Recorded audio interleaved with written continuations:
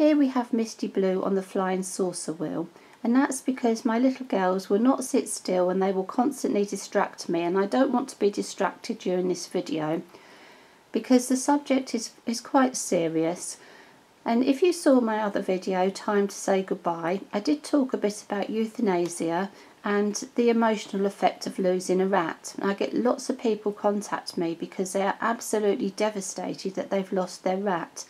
And that is the way you should expect to feel because you've formed an emotional bond with your rat. And rats are not just rats, they're not just pets, they are part of your family.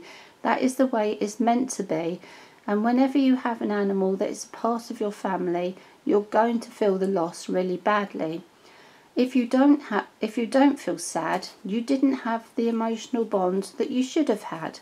So it's to be expected and it is horrible and it will take a long time for that to get better. Don't expect to feel better in a few days or a few weeks. It, it could take months and months and you're never going to forget your rat. You never forget the ones you've lost. And of course you've got your memories, your videos and your pictures to help you. And with time, the sadness will leave you and you will start to remember the happy times.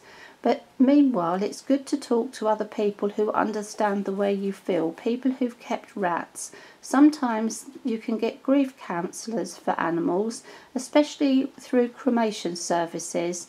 Quite often there will be somebody at the company that organises cremations who is actually a pet grief counsellor and they can be enormously helpful to you because they see this so often. You shouldn't be ashamed or worried about the way you feel. So you need to be nice to yourself and not rush into anything in the next few days or weeks. Don't sort of um, start to panic and think, oh, I have a lone rat or I can't do this again or why am I doing this? Because those thoughts are perfectly natural. And every single time I lose a rat, I say to everybody, I can't do this. Why am I putting myself through this? I can't handle this anymore. And until recently, I've always um, you know, rushed out and got more rats because I cannot bear to have empty cage syndrome.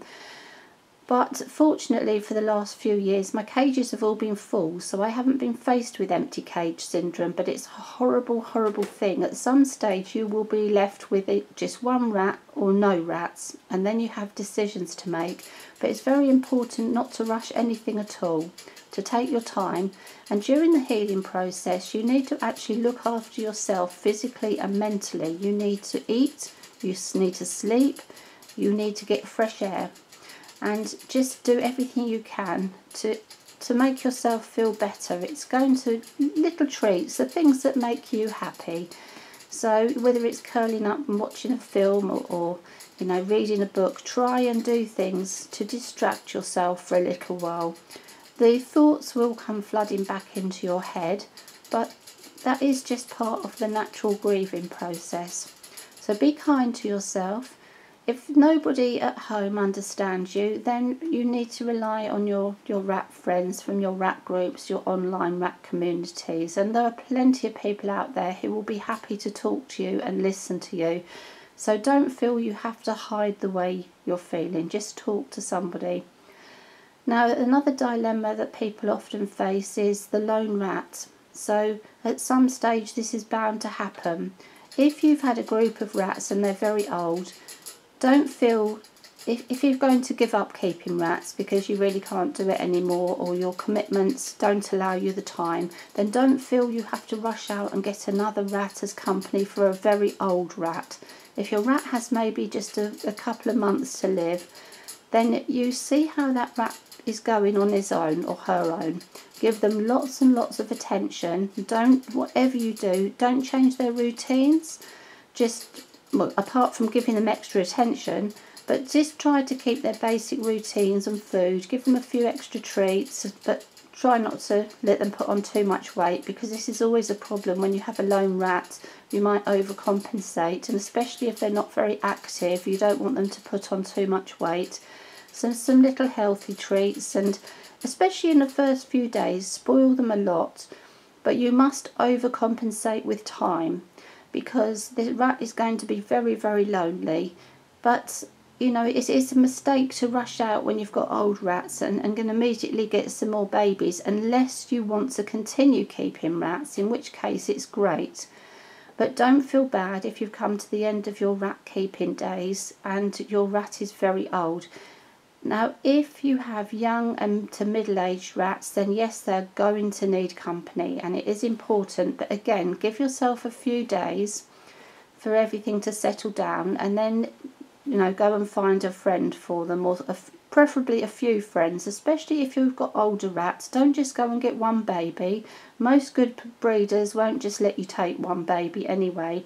It's better for the babies to come to you in pairs or little groups and then when your older rat does die, you're then not faced with the same problem of a lone rat and the babies will settle better if you have two or three babies.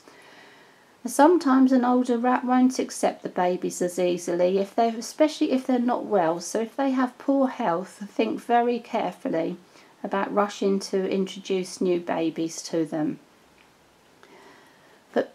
You know, rats they are such an important part of your life if you're keeping rats. So you have to do the best thing you can for them.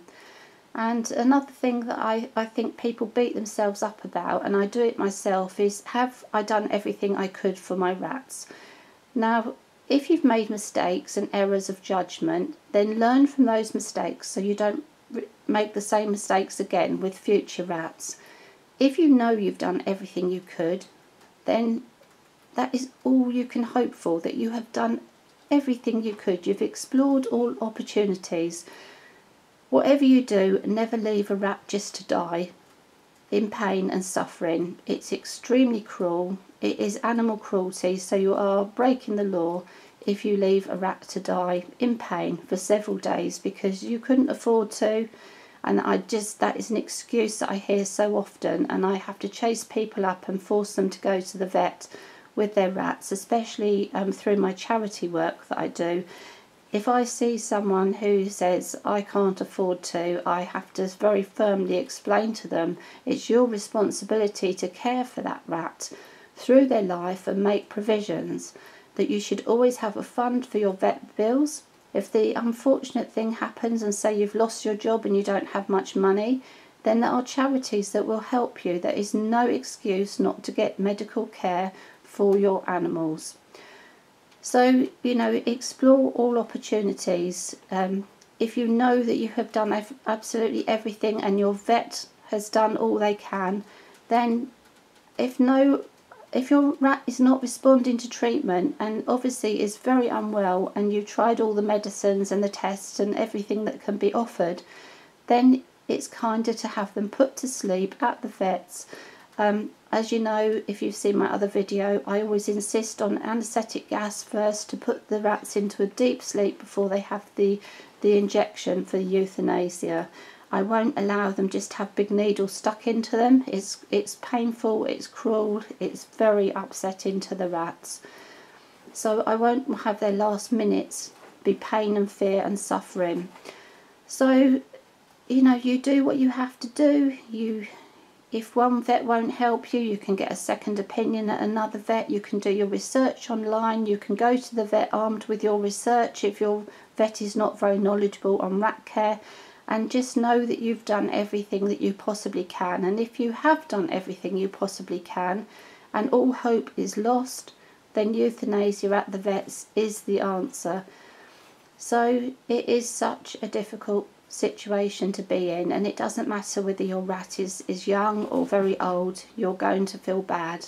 You're always naturally going to wonder, did I do everything that I could? And I had this dilemma last year uh, with Pippin and I really, it really traumatised me and after losing 19 rats in uh, three months, I actually got physically unwell. I was very depressed about losing the rats all relatively young because my big rescue group had terrible health, but also I became physically unwell. And, um, you know, I got shingles and cellulitis, and it just really, really drags you down. So just take some comfort in knowing that you have given your rats a good life and that you've done everything you could. And talk to people. Don't feel like you're the only person that is going through this because you're not. And with time, things will improve. Love the rats you do have left. Spend as much time as you can with them. And just just know you're not alone.